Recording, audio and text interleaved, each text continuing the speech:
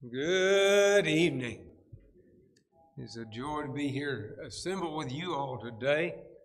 It's always a blessing to be with God's people. As I said uh, already in this uh, gathering uh, yesterday, I've looked forward to being here. I've never gotten to be uh, with this congregation before, and it's been a, already a great blessing to be part of what, uh, from all I can see, is a family.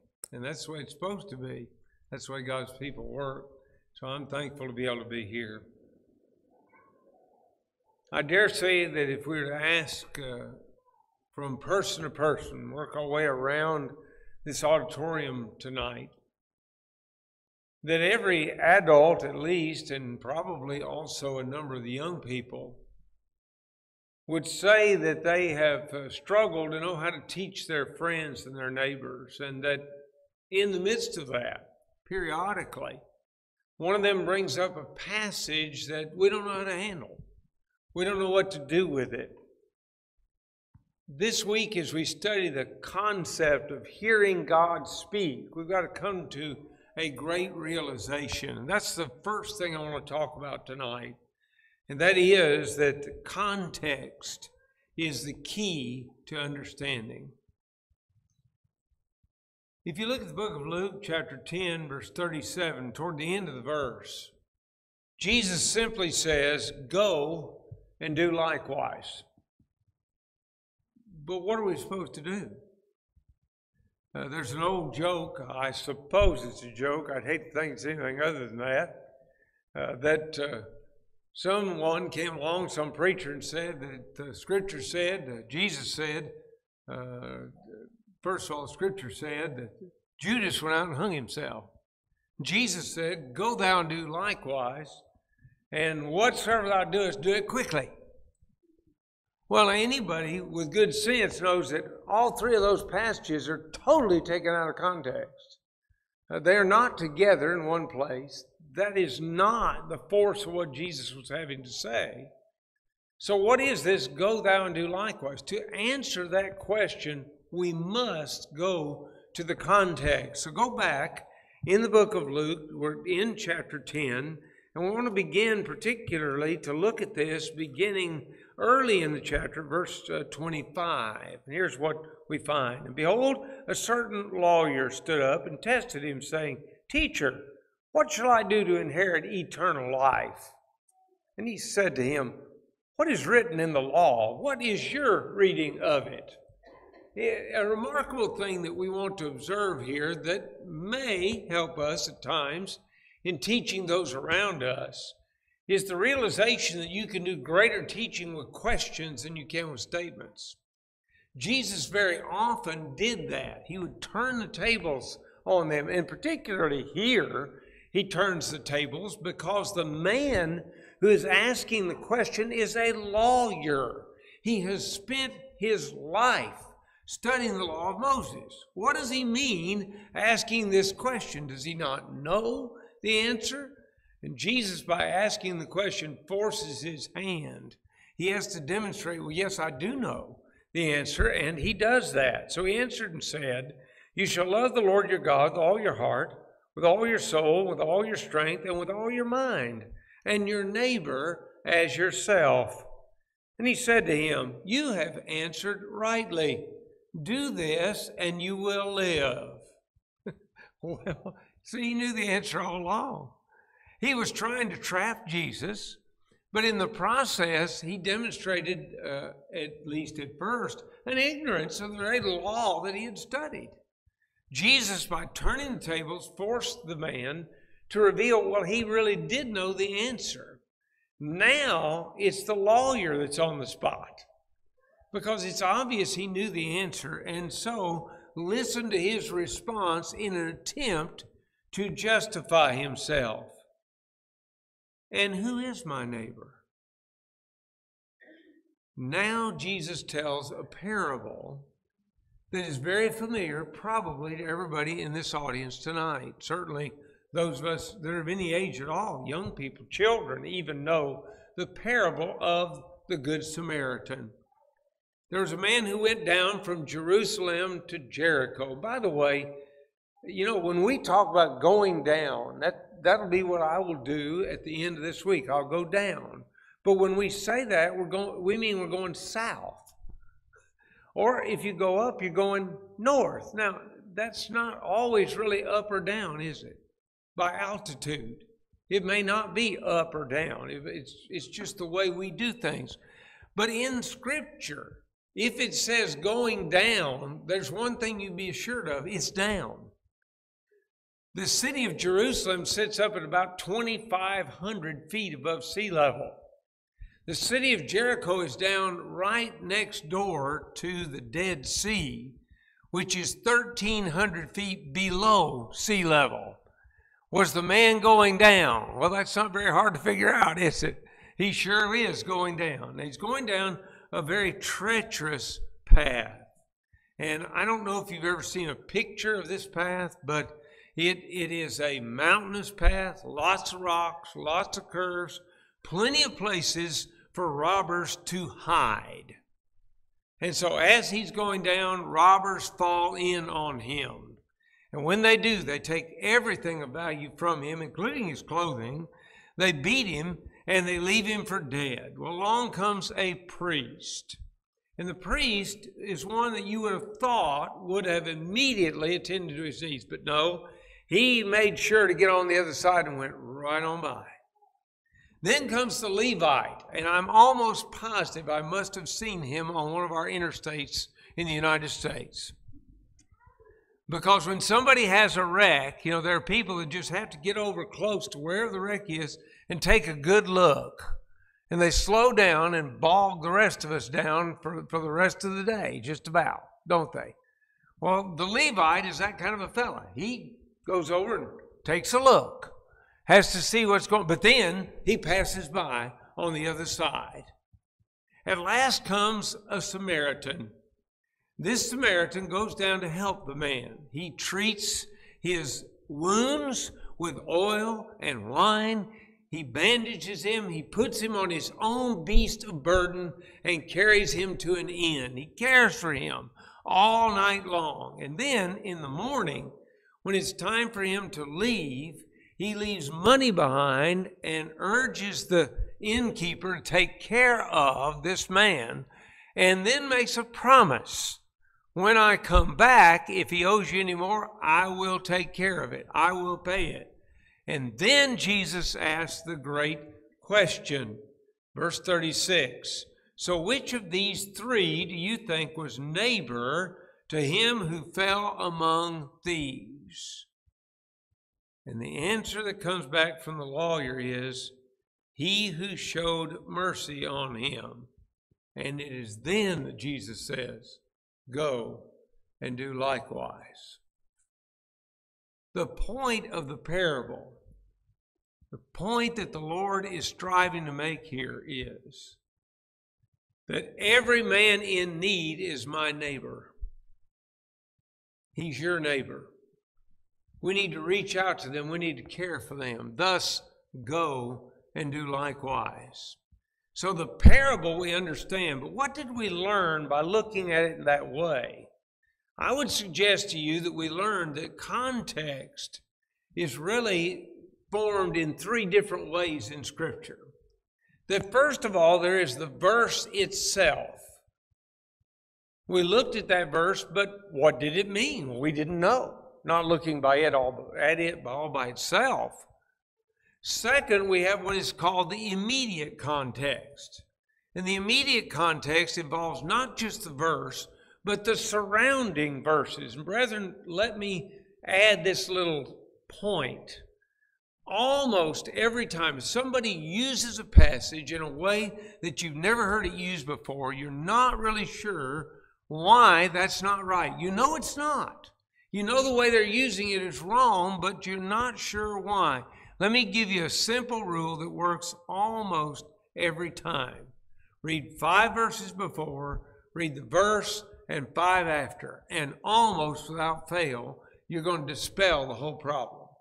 It will go away. In fact, for the remainder of tonight, we're going to be demonstrating that over and over again so that we all understand what it takes.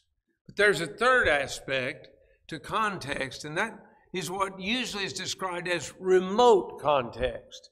And the remote context is everything that Scripture has to say about that particular thing. For example, when you're thinking about remote context, it plays a tremendous role in what we often call the Jerusalem Conference. You may remember that when James proposes what they're going to write to the Gentiles, that he says we need to tell them to abstain from things strangled and from blood. And by the way, if it's strangled, blood's a problem because it's still in the body. So, really, abstain from blood. And someone says, well, then the Gentiles did have to follow the law of Moses. No, they did not. Instead, this is an overarching principle, what sometimes is called a meta principle. It actually goes back all the way to the book of Genesis, Genesis chapter 9. And when God is talking to not even Abraham, he's talking to Noah. And he tells Noah not to eat the blood because the life is in the blood. This is an overarching principle that started in the patriarchal age, is continued in the Mosaic age, and also extends even into the Christian age. Thus, the Gentiles were to keep a law that God established in the early times. Jesus did the same thing, if you think about it, with a question of marriage.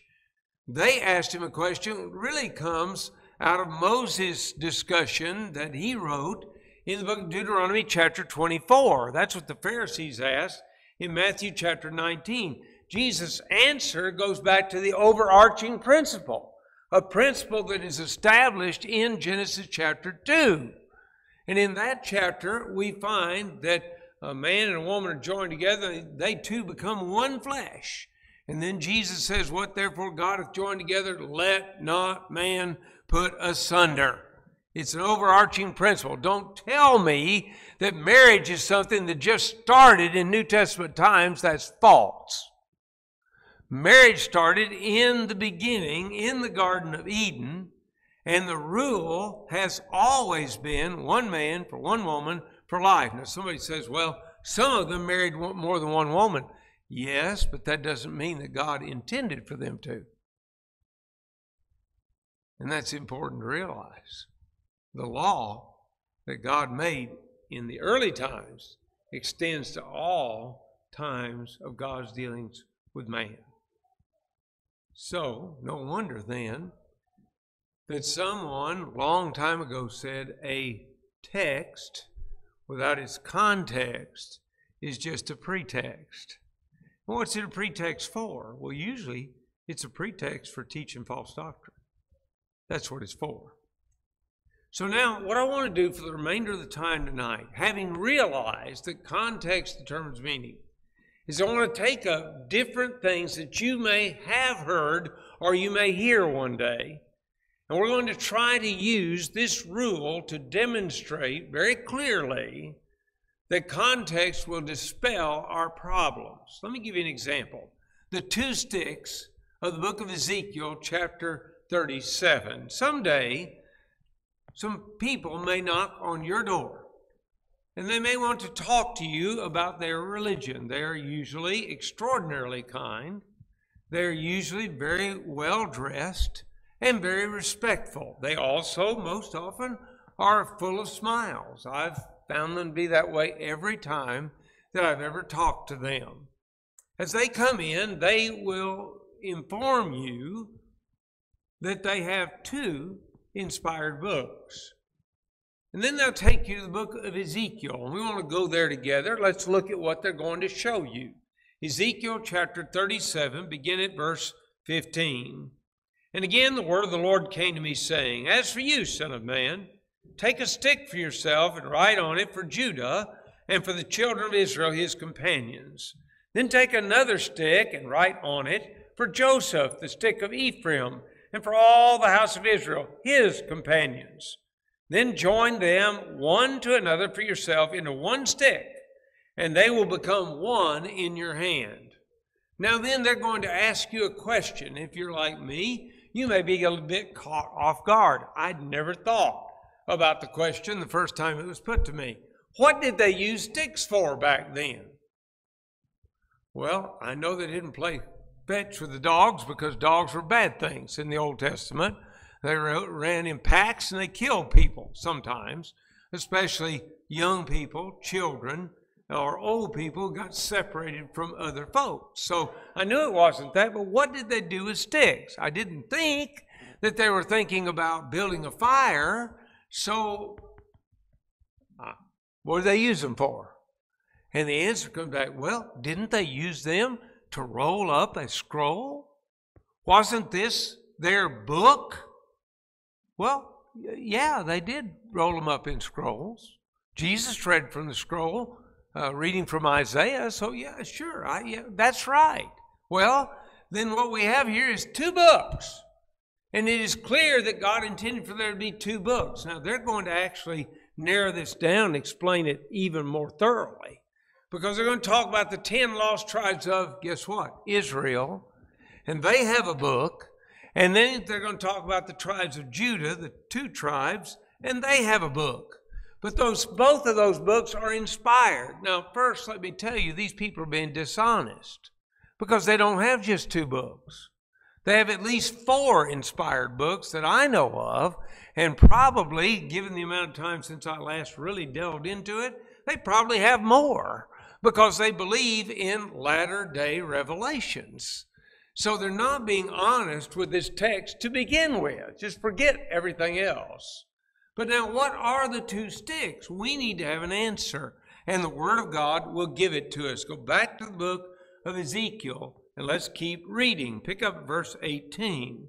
And when the children of your people speak to you, saying, Will you not show us what you mean by these? Say to them, Thus says the Lord God, Surely I will take the stick of Joseph, which is in the hand of Ephraim, and the tribes of Israel, his companions, and I'll join them with it, with the stick of Judah, and make them one stick, and they will be one in my hand. And the sticks on which you write will be in your hand before their eyes. Well, we know a little bit more, maybe, but we still don't know what the sticks are, totally, do we? So let's keep going because the text continues to talk about it. Verse 21 Then say to them, Thus says the Lord God, Surely I will take the children of Israel from among the nations, wherever they have gone, and will gather them from every side and bring them into their own land. Now, stop. Is he talking about a book? No, he's talking about a people. It's very clear, isn't it? The text makes it clear as it can be. He's going to take Israel from out of the nations where they have been scattered. But keep going, because he didn't really stop there. He goes ahead and I will uh, make them one nation in the land on the mountains of Israel, and one king shall be their king over them all. They shall no longer be two nations, nor shall they ever be divided into two kingdoms again. They shall not defile themselves any more with their idols, nor with their detestable things, nor with any of their transgressions, but I will deliver them from all their dwelling places in which they have sinned, and will cleanse them. Then they shall be my people and I will be their God. So, what are we learning? Two nations, not just two sticks, two nations. Two nations that had once been divided, Judah and Israel, but they're going to be reunited. How? Under one king. That's how they're going to be united, but really they haven't stopped yet. God continues David, my servant, shall be king over them and they shall all have one shepherd. They shall also walk in my judgments and observe my statutes to do them. And so he's talking about David being king. But wait a minute. When Peter stands up on the day of Pentecost, he makes it clear that David was dead and buried. And in fact, they knew where his bones were right then. So is he talking about David or is he talking about the son of David? And it's obvious he's talking about the son of David. He's talking about the Messiah, the anointed one. In Greek, it would be Christ, the anointed one. Those are the two words, Hebrew and Greek, for anointed. Who did they anoint in the Old Testament? Well, they anointed kings, right? Saul was anointed, David was anointed. They also anointed priests. Do you remember that Moses anointed his brother Aaron, for example, to be the high priest? And then who else did they anoint? They also anointed prophets. You may recall that Elijah anointed Elisha. Guess what? Jesus is the anointed in every sense of the word, not just a king. He is prophet, priest, and king. And the book of Hebrews makes that very clear. And so, what are we talking about here? We're talking about the unification of all people under one king, Jesus Christ. That's what we're talking about. Not two inspired books united as one, not at all. But instead, one king with one kingdom. Thus, on the day of Pentecost, when the Apostle Peter stood up, what did he say? Let all the house of Israel know assuredly that God hath made that same Jesus whom you have crucified both Lord and Christ. Where is he seated? He's already told that, hadn't he? He's seated on the right hand of the throne of God. And it is because he is now seated there that this has been shed forth, which you now see and hear. I want you to think about this a minute. We already looked yesterday at the at the beginning of this idea, Acts chapter 2, and the speaking in tongues and uh, languages, uh, which is, is very apparent there. But did you, did you also think, as you go down through there, there's more to that than that? That within that, he makes it very, very clear that what happened is what Jesus said would happen. In John chapter 16, Jesus said that, he had to go away so that another comforter could come. And the word another in John 16 is one, one of the same type. Jesus was God come down to earth. The Holy Spirit is also God. And he's going to come with what purpose? Not to deliver a new message, but instead to deliver the message of Jesus in its entirety. So, do we know Jesus made it to heaven? The answer is yes. How do we know? Because the Holy Spirit came. And that lets us know beyond a shadow of doubt that He made it. And He is now ruling as King, seated on the throne. So the two sticks. But what about this one? Some of you have already heard this. On this rock I will build my church comes from Matthew chapter 16. I know of one religious group, I suspect a number of you know as well, that that religious group says that the rock in that case is a fellow by the name of Peter.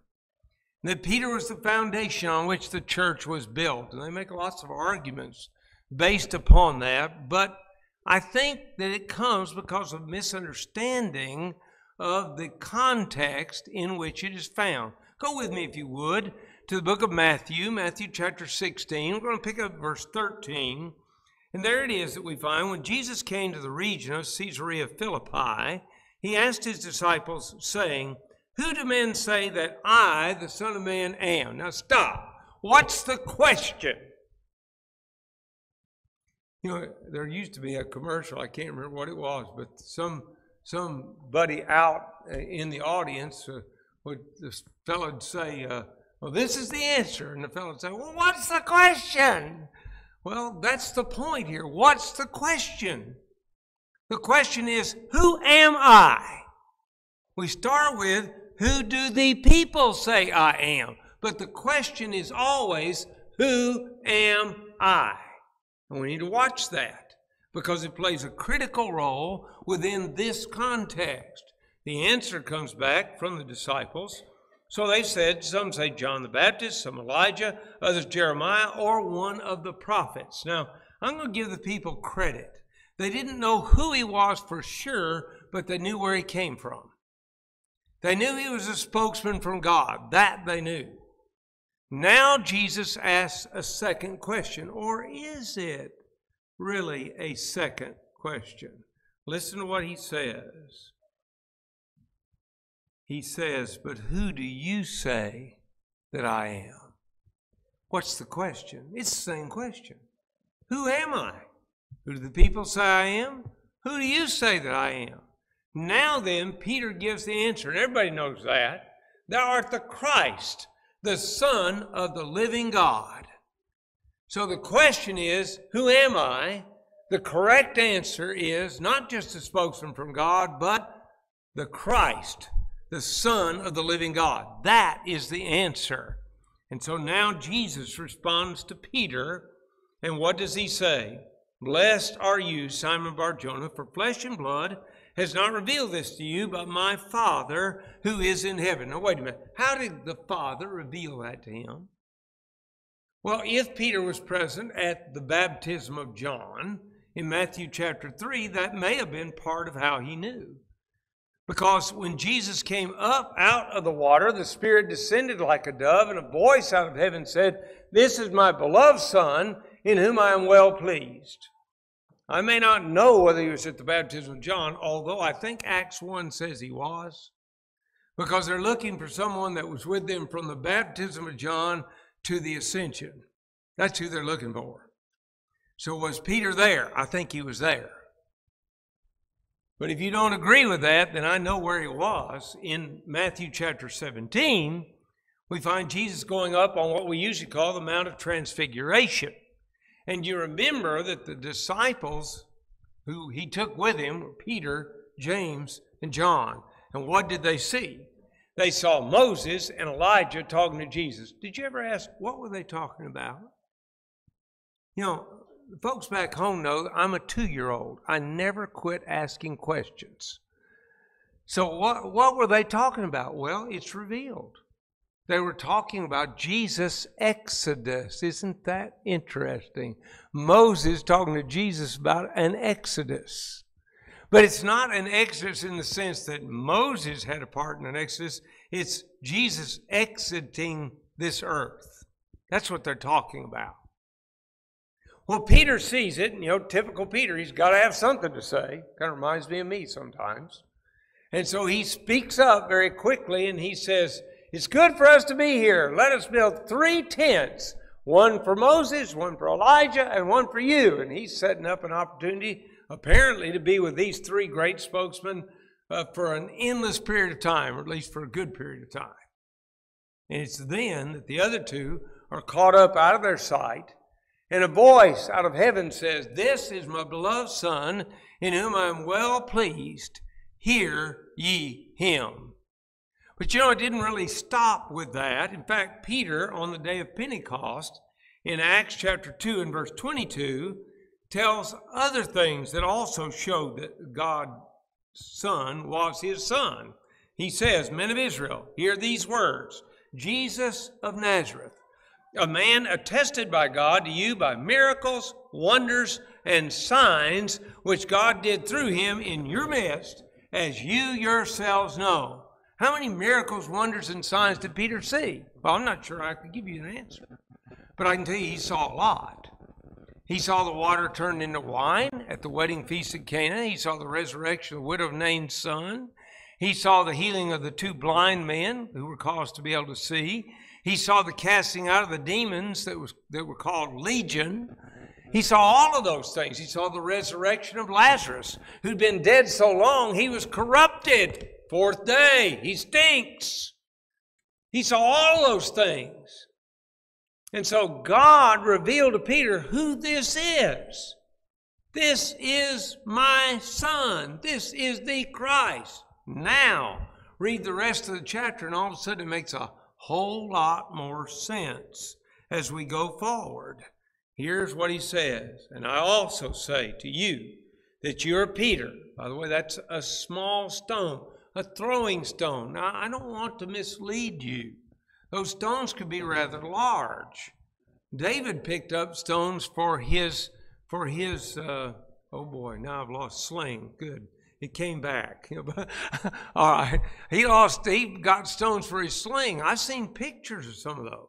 They're about the size of a tennis ball.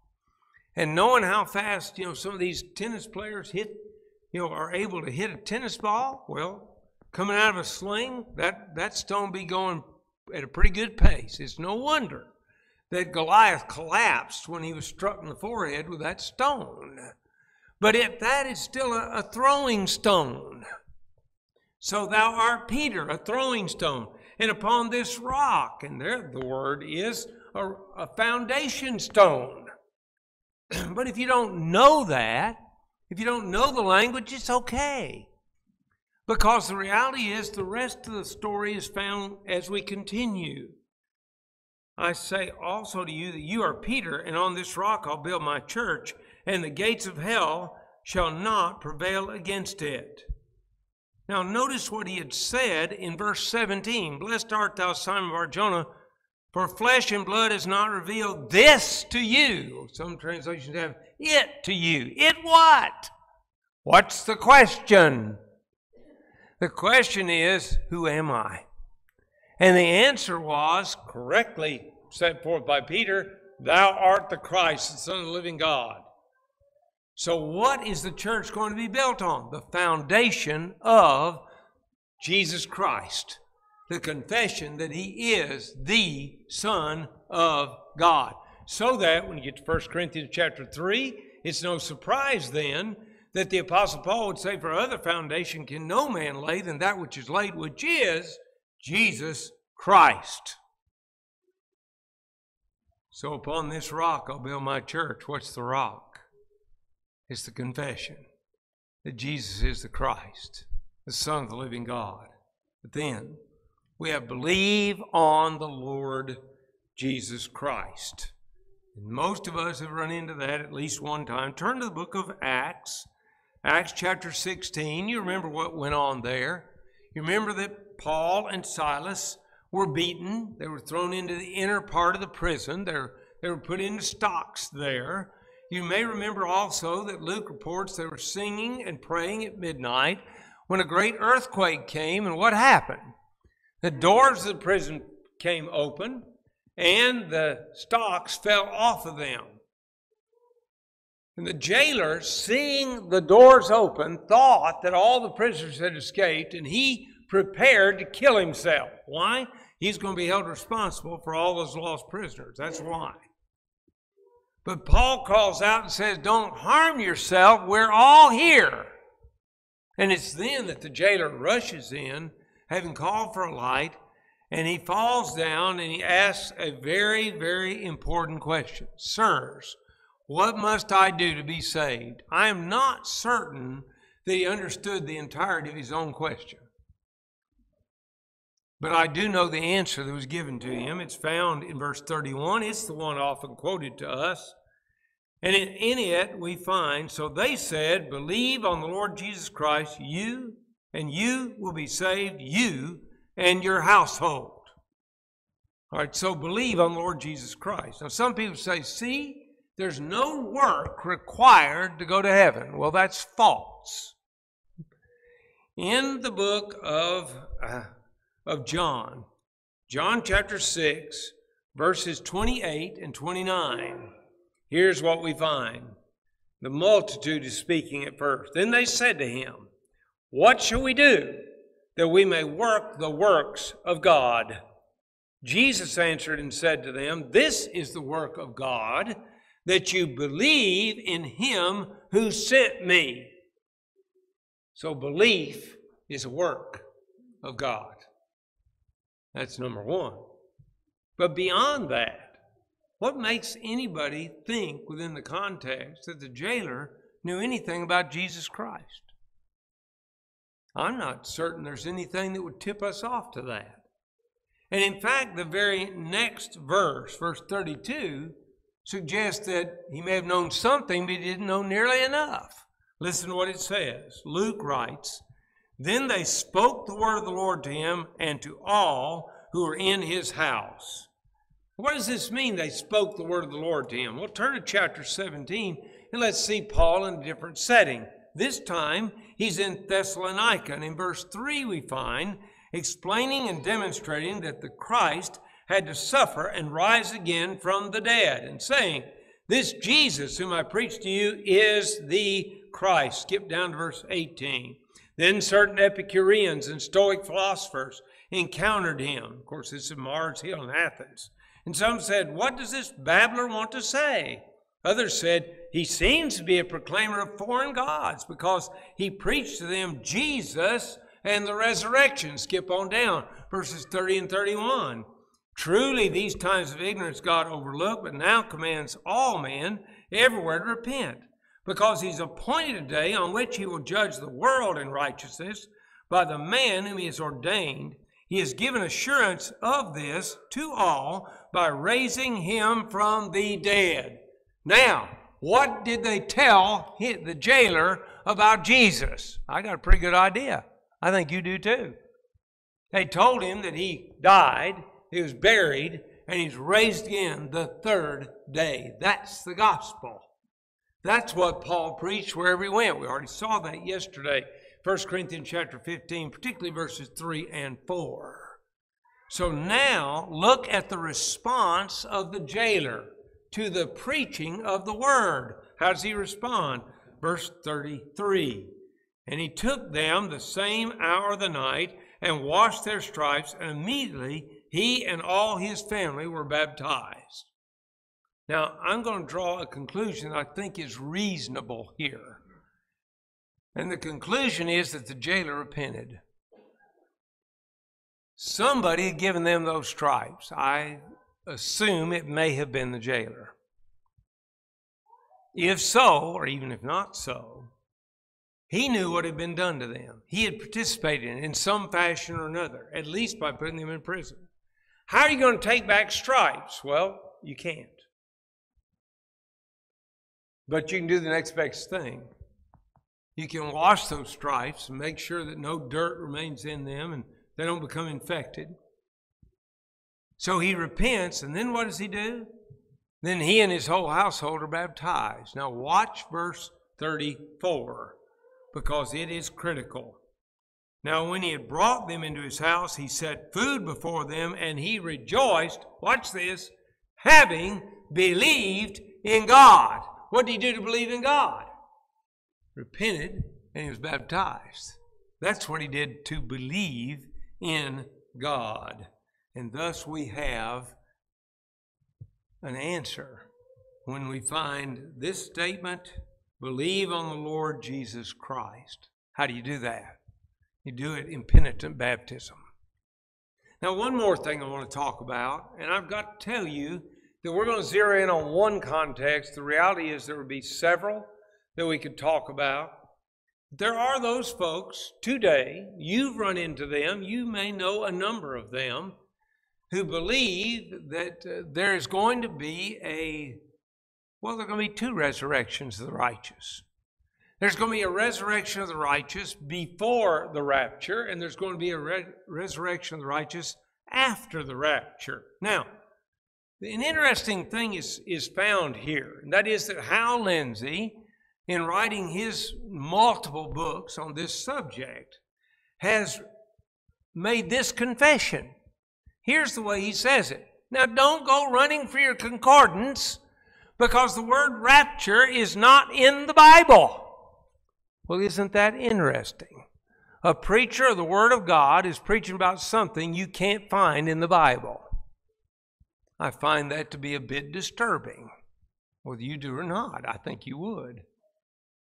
Now, he also goes on in, in the late great uh, planet Earth and also in another book. Now, all I can remember right now is Generation. I can't remember the first part of the wording there.